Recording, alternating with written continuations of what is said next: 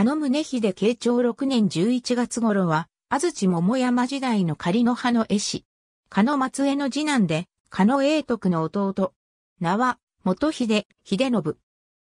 宗秀は豪。元気2年21歳の時、永徳と共に、文後国の大友総林に招かれ、小壁画を描く。天正4年安土城小壁画制作では、永徳から家屋敷を預けられ、その留守を守った。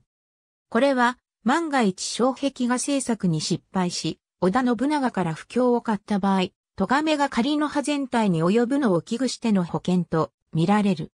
天正10年、橋場秀吉が姫路城電車の再式のために、宗秀を播磨国に招いている。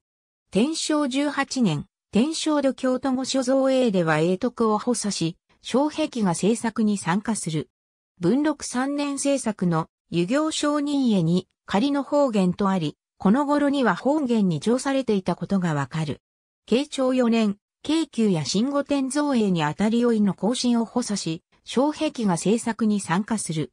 慶長6年11月頃、更新に息子、神野城の貢献を依頼しつつ亡くなった。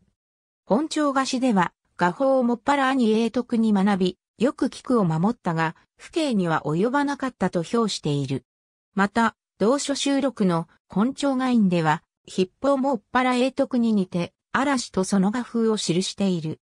画形に、戦術の実施で父と同じく、元秀を名乗った新設神の城、また源那から完成頃の作品が残る加野重信も、門人とされる。ありがとうございます。